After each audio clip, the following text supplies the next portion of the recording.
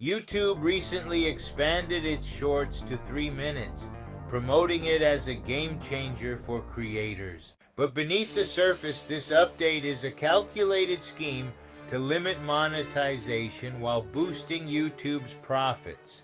Previously, creators could use 1 to 3 minute videos to help meet the 4,000 hour watch time requirement needed for monetization. But now any video under three minutes is automatically categorized as a short.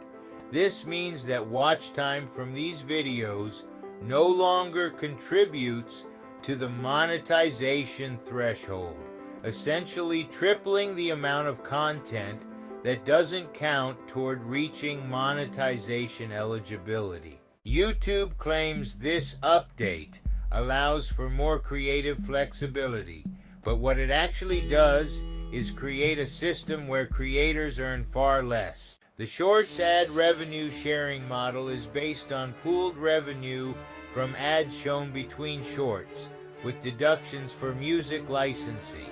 This makes it far less lucrative than traditional ad revenue sharing. YouTube still profits from these ads, but creators see only a fraction of the potential earnings compared to long form content.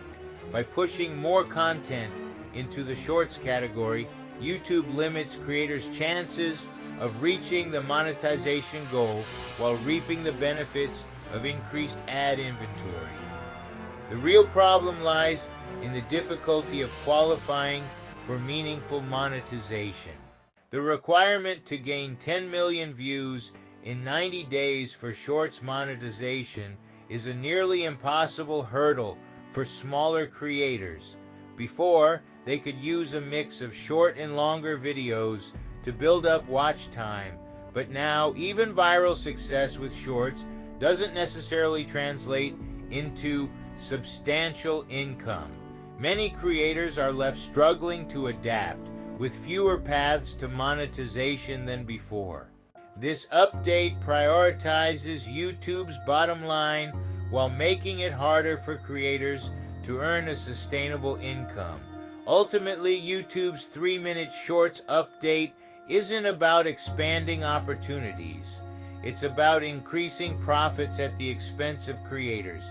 It's a scheme that forces creators to shift their strategies, yet gives them fewer rewards. Under the guise of helping creators, YouTube has actually made it harder for content creators to achieve their goals, revealing a profit-driven motive behind this seemingly generous update. For many, this change represents a step backward, not forward, in their journey to monetization.